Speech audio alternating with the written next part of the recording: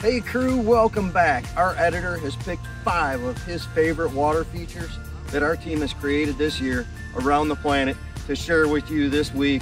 I'm John G with Modern Design. Like, comment, subscribe, all that stuff. Thanks for joining the Adams family. John G out.